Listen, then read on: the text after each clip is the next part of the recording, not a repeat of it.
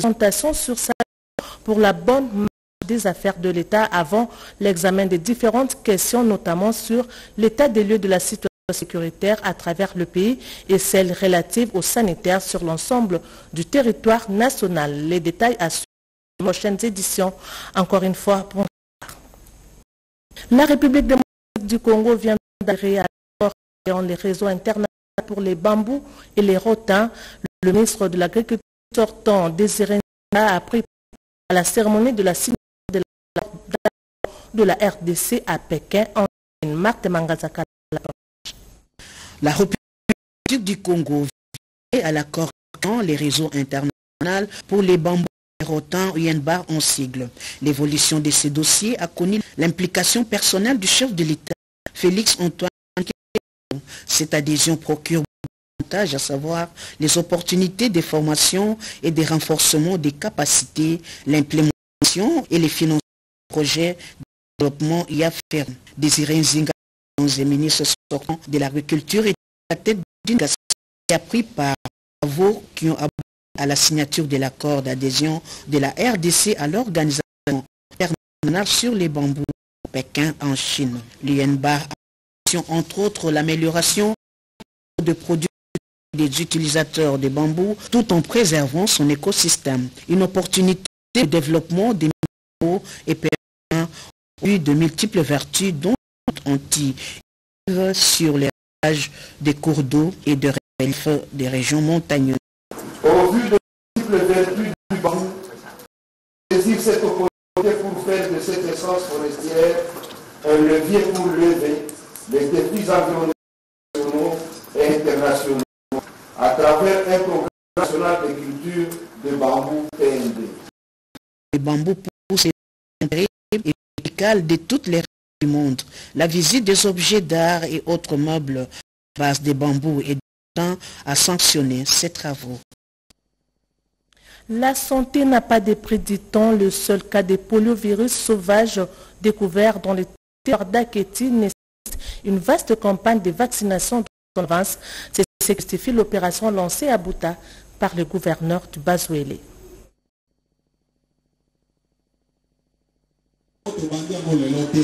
Le souci de protéger les enfants de 0 à 59 mois contre la poliomyélite dans les baselés, la provinciale de la santé lance cette campagne de contre cette maladie qui handicape les enfants. Elle bénéficie l'appui des partenaires dont l'UNICEF, l'OMS et le gouvernement congolais, car le chef de l'État, Félix Antoine Tshisekedi Chilombo, met un accent sur la santé primaire des Le ministre de la Santé, Dr. Akonda, précise qu'un cas de cette maladie a été découverte une fois de plus à Doula, 75 km de la ville de Bouta, ce qui nécessite une prévention immédiate. Quant au Dr. Clary Suleiman Aïssatou, le consultant de polio et coordonnateur provincial GP1, dit que la vaccination contre la poliomyélite permet de protéger les enfants. Nous sommes ici ce jour pour une cause commune et noble, celle de la vie de nos contre la. Permettez-moi d'adresser mes vives félicitations aux priorités de ce pays et à sa la lutte contre la poliomyélite. La vaccination est très efficace pour la prévenir. Et plusieurs doses de vaccins contre la polio sont vraiment nécessaires pour une protection. Le gouvernement du Bazelé, le professeur Jean-Robert Nzanzabonti, qui prend la cérémonie, exhorte les parents de recevoir les vaccinateurs seront pour donner des vaccins aux enfants. C'est dans cette optique que nous démarrons ces jours une campagne de vaccination des enfants de 0 à 59 mois contre le poliovirus de la souche finale. Cette campagne va durer trois jours du 30 mars au 2 avril 2023. Pendant un vibrant hommage au président de la République, Félix Antoine Tshisekedi Chilombo, garant de la paix et de la sécurité sur toute l'étendue de la République démocratique du Congo. Retenons que cette vaccination ne concerne que les enfants dont l'âge varie de 0 à 59 mois pour une durée de jours. Lutte contre la malnutrition dans les hauts dans le secteur de l'Oufira. Dominique Savio fait appel à l'UNICEF et Vision mondiale pour ces fléaux qui est à la base de mortalité infantile.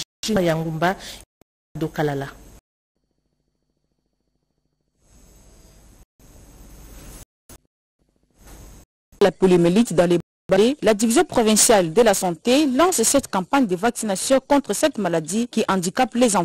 Elle bénéficie l'appui de partenaires dont l'UNICEF, l'OMS et le congolais, car le chef de l'État, Félix Tshisekedi Chilombo, un accent sur la santé de sa population. Le ministre provincial de la Santé, Dr Innocent Akonda, précise qu'un cas de cette maladie a été découverte une fois de plus à Doulia, 75 km de la ville de Bouta, ce qui est une prévention Quant au docteur Barry Suleiman Aïssatou, le consultant de polio et coordonnateur provincial de GP1, explique que la vaccination contre la poliomyélite permet de protéger tous les enfants. Nous sommes réunis ce jour pour une commune et noble, celle de protéger la vie de nos enfants contre la poliomyélite. Permettez-moi d'adresser mes vives félicitations aux premières autorités de ce pays l'ensemble des acteurs intervenant dans la lutte la poliomyélite. La vaccination est très efficace pour l'avenir. Et plusieurs doses de vaccins contre la polio sont vraiment nécessaires pour une protection efficace. Le gouvernement de province du Bagelé, le professeur Jean-Robert Nzanzabombiti, préside la cérémonie exhorte les parents de recevoir les vaccinateurs qui passeront pour des gouttes de vaccin aux enfants. C'est dans cette optique que nous démarrons ce jour la campagne de vaccination des enfants 0 à 59 mois contre le virus dérivé de la souche vaccinale. Va durer trois jours du 30 mars au 2 2023. Pendant un vibrant hommage au président de la République, Félix Antoine Tshisekedi Chilombo, de la paix et de la sécurité sur toutes les États de la République démocratique du Congo, que cette vaccination ne concerne que les enfants dont l'âge varie de 0 à 5 mois pour une durée de 3 jours. Je disais lutte contre la malnutrition dans les Hauts-Katanga, dans le secteur de Loufira, Dominique Savio fait appel à l'UNICEF et la Vision mondiale pour combattre ce fléau qui est à la base des mortalités infantiles. Junior Yangumba et Ricardo Kalala signent ces reportages.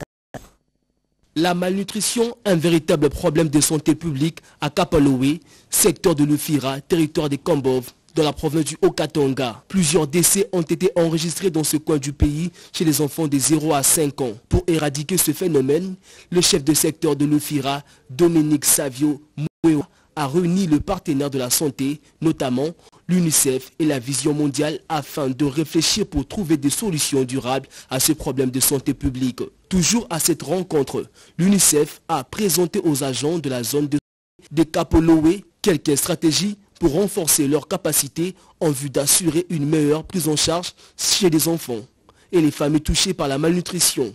Dans la, la formation des bâtiments où les prestataires ont été renforcés en capacité, on leur a donné les astuces quand une femme enceinte est par exemple malnourrie, qu'est-ce qu'on doit lui donner?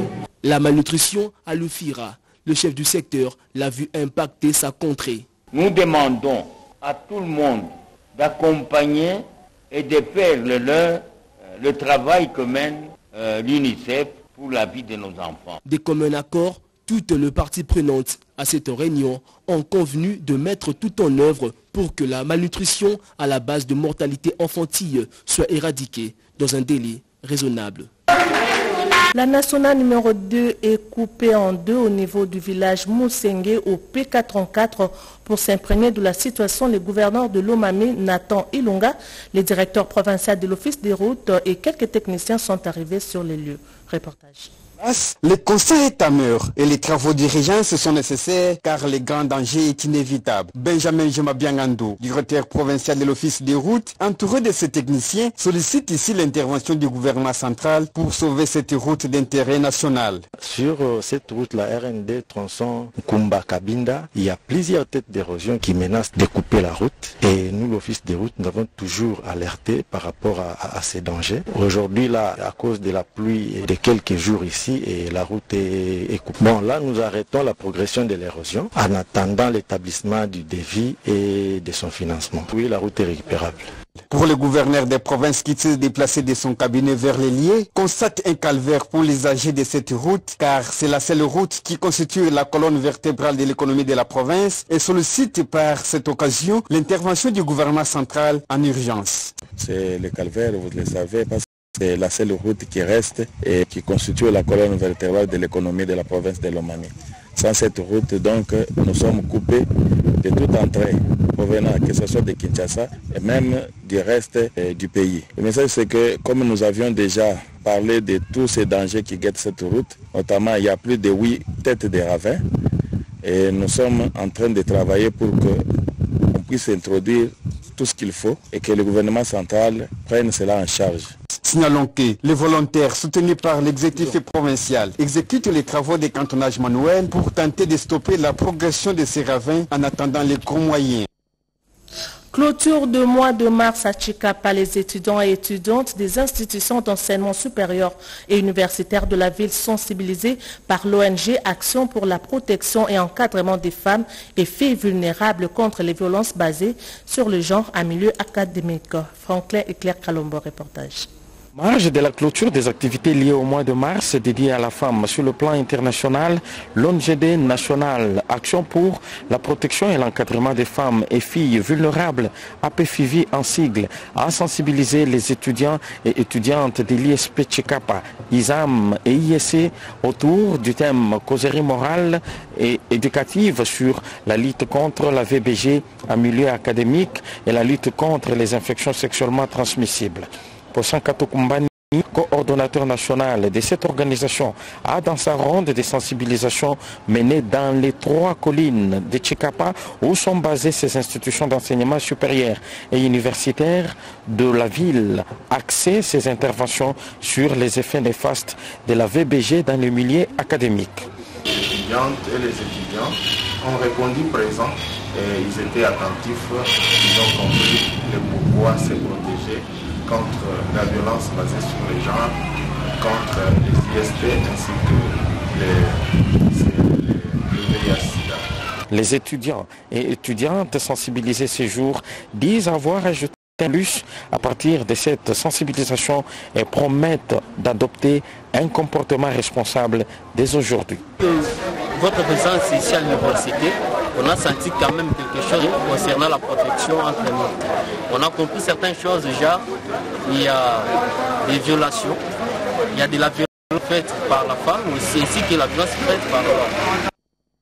Faire face au terrorisme avec des méthodes à la mesure des attaques, c'est l'objet de travaux de l'atelier de formation organisé par le Comité national coordination des luttes contre le terrorisme avec l'appui du Centre africain d'études et recherche sur le terrorisme. Cédric Kenina.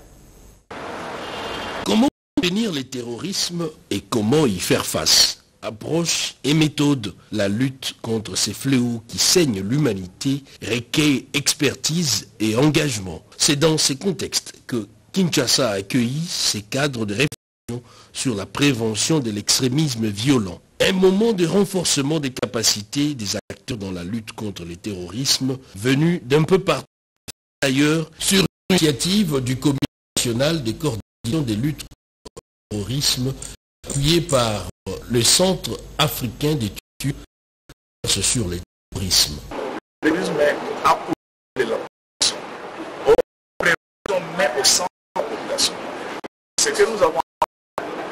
Servir effectivement les, les apports, le, les méthodes à utiliser et surtout, surtout la prévention qui se passe dans l'éducation. Les renforcements des capacités que nous sommes en train de vivre, ça peut aider à ce que nos s'organisent pour renforcer euh, la à travers la résistance populaire. Il s'est dégagé à l'issue de cette formation une convergence de vues la nécessité d'une loi dans la lutte contre le terrorisme. Les cas de la RDC diffèrent des autres États où le terrorisme se présente sous forme de cartel. À la clôture, plusieurs personnalités étaient présentes pour démontrer l'intérêt que rêvait cette formation, notamment le vice-ministre de l'Intérieur, certains députés nationaux et les mots de clôture a été procès par le représentant du conseiller spécial du chef de l'État en matière de L'autorité des régulations et de contrôle des assurances à la rencontre des hommes et femmes importateurs. Dans une matinée d'information à la fait que tous, tous les malentendus étaient dissipés. Dichala, reportage. Les échanges ont été musclés, mutueux, entre l'autorité des régulations et de contrôle des assurances et les affiliés non affiliés Fédération des entreprises du Congo sur le contrôle des assurances des facultés à l'importation. L'équipe des cas conduite par la directeur générale adjointe Fanny a informé ses interlocuteurs sur la signée entre l'ARCA et la DGDA et l'incidence sur l'importation.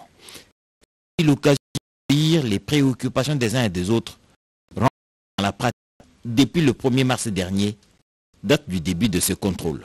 Nous avons constaté la bonne foi et les sociétés ont posé énormément de questions qui nous estimons que toutes ces questions étaient fondées. À la fin, nous voyons qu'ils sont satisfaits des différentes apportées par l'ARCA, la DGDA et la SAR, la SAR l'Association des sociétés d'assurance et des réassurances de la République démocratique du Congo.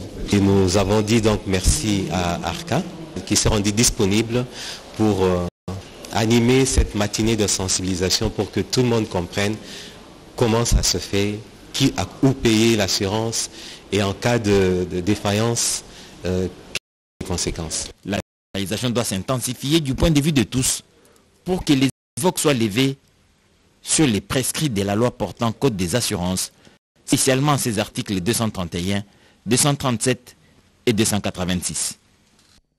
12e Assemblée générale annuelle des régulateurs des communications de l'Afrique australe à Kinshasa. Ces travaux réunissent les présidents des autorités de régulation d'Afrique australe et c'est le ministre des Pétentiques, Kibasa Maliba, qui préside cette Assemblée générale.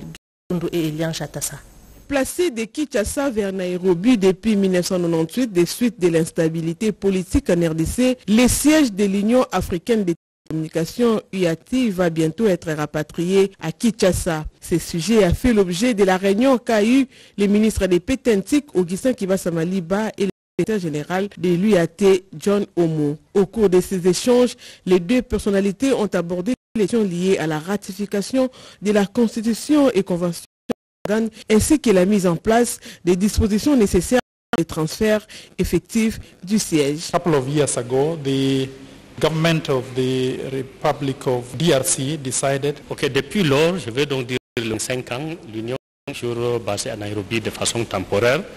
Bon, comme vous venez donc de le constater, à titre de développement, le gouvernement de la République démocratique du Congo a non seulement manifesté l'intérêt, mais a marqué son engagement à faire donc retourner le siège ça en République du Congo. Il y a eu de, euh, beaucoup d'échanges avec le gouvernement à travers donc, son Excellence, Monsieur le Ministre, dans le cadre du transfert donc, de ce siège, conformément aux conditions posées par la conférence des plénipotentiaires. Les ministres des Pétentiques et l'Union africaine des télécommunications sont venus d'effectuer quelques visites des locaux où sera abrité les sièges d'organes. Ces rapatriements interviennent après l'appurement des RDC un motif de satisfaction pour John Omo qui loue les efforts du gouvernement congolais à vouloir être en règle avec l'organisation. Portage signé Nono Masekou. Comment faire le suivi de la procédure de saisie immobilière en cas d'incapacité de solder les crédits contractés au moyen de l'hypothèque? La question a servi de matière au cours de l'atelier de formation organisé par la circonscription foncière de Kabou Rodépanda.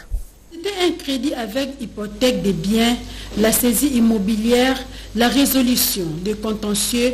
Tout cela engage toute une procédure non bien maîtrisée par la population et spécialement les agents de l'État du domaine foncier commis à ces services. Plusieurs propriétaires des parcelles sont victimes de la saisie immobilière une fois tombés dans l'incapacité d'appuyer la dette contractée. Nombreux hypothèquent leurs titres tels que les certificats d'enregistrement. La saisie immobilière, une opération très complexe qui donne du fil à retordre aux agents et cadres de l'administration foncière. C'est la raison de la tenue de cette journée de réflexion et de renforcement des capacités organisée à la circonscription foncière de Kassavoubou sous la supervision du conservateur. Il était question d'expliquer aux participants les contours de la saisie immobilière dans le respect de la procédure légale à suivre. Louis Sandoukou précise. Nous avons voulu partager cette expérience avec eux pour que nous ayons quand même la possibilité d'avoir beaucoup de gens qui savent rédiger les commandements au fin de saisie immobilière. La saisie immobilière, c'est une procédure qui permet à un créancier muni de titres exécutoires de se faire payer en vendant l'immeuble de son débiteur. Je suis satisfait parce qu'il y a de ces questions dont je ne maîtrisais pas. Je viens d'enrichir euh, ma connaissance. Il y a de ces sujets, ça ne vient pas tous les jours comme les sujets des saisies immobiliers. Bien éclairés et bien outillés, ces techniciens fonciers se disent comblés et à mesure d'assurer la quiétude au sein de la population, quelquefois naïve, ignorante, faute d'un bon accompagnement des services de l'État. Ses fonctions comme vice-ministre des Affaires étrangères, il va travailler désormais au cours du vice-premier ministre Lutundula pour porter haut l'étendard de la diplomatie congolaise. Jacques Abouaba, Ricardo Kalala, reportage. Reconduit c'est finalement en tant que vice-ministre aux Affaires étrangères et francophonie que Crispin Bandou Panzou va poursuivre sa mission diplomatique au sein du gouvernement Samadeu. Le jeudi 30 mars, l'ancien vice-ministre du Plan a officiellement pris ses fonctions au terme d'une cérémonie de remise-reprise avec le vice-ministre sortant Sami Adoubango. La cérémonie a été présidée par le secrétaire général aux Affaires étrangères en présence du directeur de cabinet du vice-premier ministre, ministre des Affaires étrangères. Je tiens à remercier leurs excellences, euh, Monsieur le Président de la République, euh, chef de l'État, Félix-Antoine Tshisekedi Chilombo, pour euh, la confiance renouvelée à ma modeste personne, en me reconduisant d'une part au gouvernement. Je remercie également Son Excellence, Monsieur le Premier ministre, chef du gouvernement, Jean-Michel Sama Lukonde. C'est un ministère de souveraineté. Nous, nous sommes comme des militaires. Là où le chef de l'État, le commandant suprême nous envoie, on ne se pose pas de questions. On y va en mettant en avant nos compétences, notre loyauté et l'abnégation dans les travail.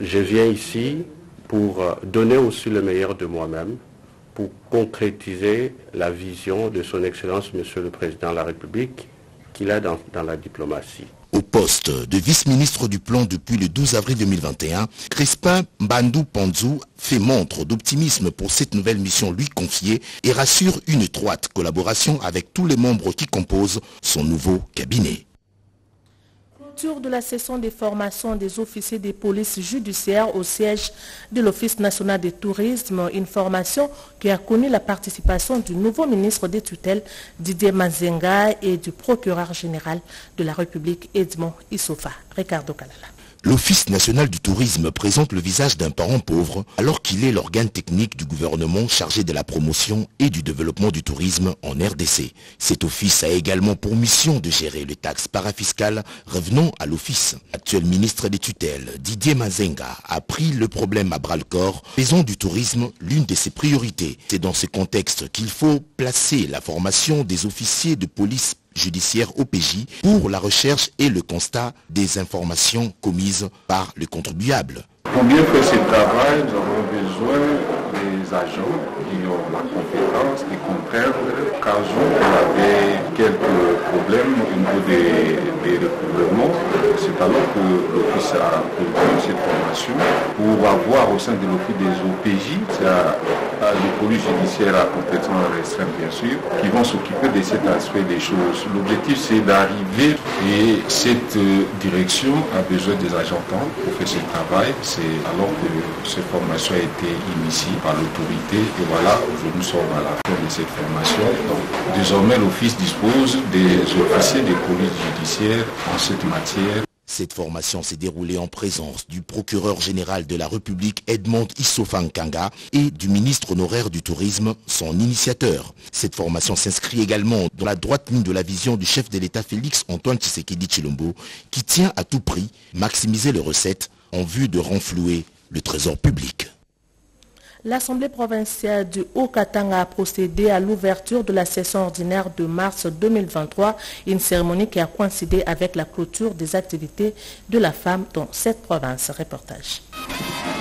Devant plusieurs personnalités venues participer à cette cérémonie solennelle d'ouverture de la session ordinaire de mars 2023, avec en tête le vice-gouverneur de province Jean-Claude Kanfoua Kimimba, l'honorable Katebengo Michel, président de l'Assemblée provinciale du Haut-Katanga, et passer en revue toute la situation générale du pays et celle de la province du Haut-Katanga en particulier. L'ouverture de la session coïncide avec la clôture du mois de mars, mois dédié à la femme qui doit continuer avec sa lutte pour rendre effectif le principe de la parité. L'Assemblée provinciale du Haut-Katanga donne une place de choix à la femme pour la toute première fois de son histoire. Une dame prend les commandes de l'administration. Il s'agit de Mme Koudoulo Mouitoua Régine. L'honorable KTB. Il a aussi salué la sensibilisation menée par des partis politiques et autres structures en ce qui concerne l'opération d'identification et d'enrôlement des électeurs. Du point de vue sécurité, l'honorable président a déploré l'insécurité criante à Lubumbashi avec le phénomène corps sans vie. Sur ce registre, il a invité l'assistance à observer une minute de silence à l'intention des jeunes affects décédés il y a quelques jours dans les circonstances non encore élucidées. En cette dernière année de leur quinquennat, l'honorable Katebe Ngoy Michel place cette session sous le signe de plus d'émissions de contrôle parlementaire avec une mention spéciale, l'organisation de l'élection du vice-président de l'organe délibérant du Haut-Katanga qui revêt un caractère urgent. Le sol doit faire sa revanche sur les sous-sols. Le ministre entrant de l'Agriculture l'a dit lors de la cérémonie des remises reprises avec les sortants, les tout dans ces condensés de Marie Calang. Il a pris officiellement les fonctions de ministre en charge de l'agriculture à la suite de la cérémonie de remise reprise.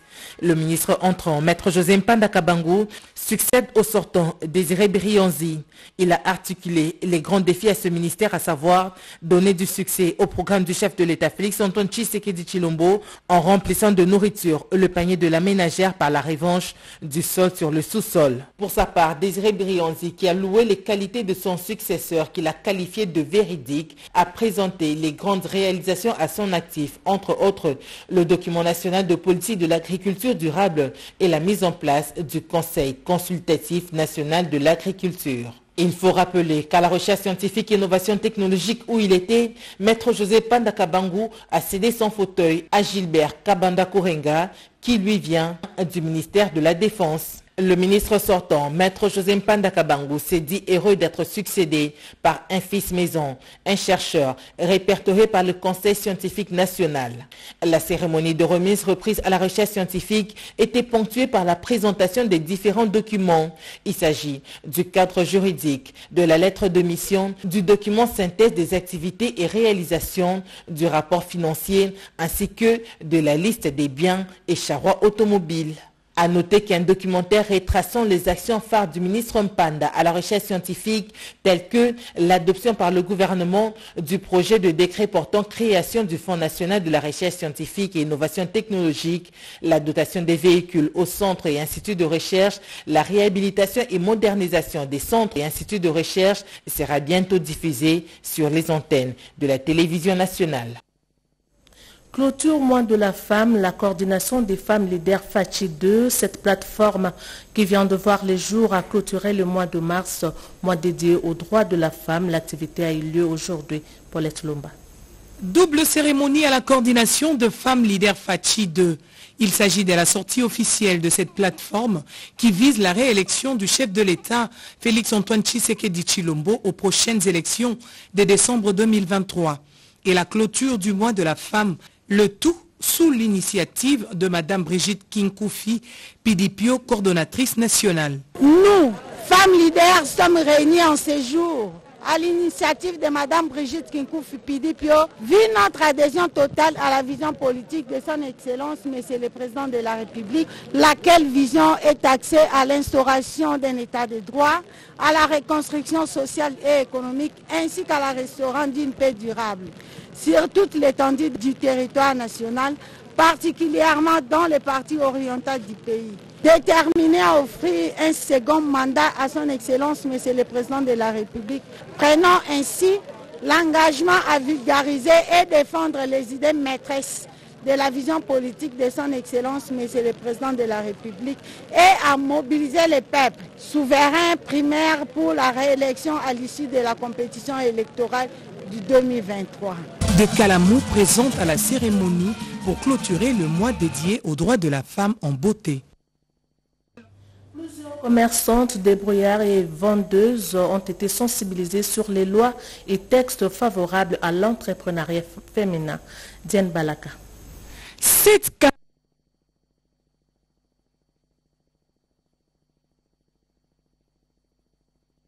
caravane motorisée organisée par le CAFCO à travers les acteurs de la capitale Kinshasa avait pour objectif de sensibiliser les commerçantes, débrouillards et vendeuses sur les lois et les tests favorables à l'entrepreneuriat féminin, où elles ont été sensibilisées à formaliser leur activité génératrice de revenus. Tout est parti de la place des évolués pour atteindre le marché Gambela en passant par le boulevard Lumumba. Au point de chute, elles sont sensibilisées de manière pratique sur les avantages de formaliser leurs activités et se faire enregistrer dans le PME. Une opération à effectuer au guichet unique pour bénéficier des crédits.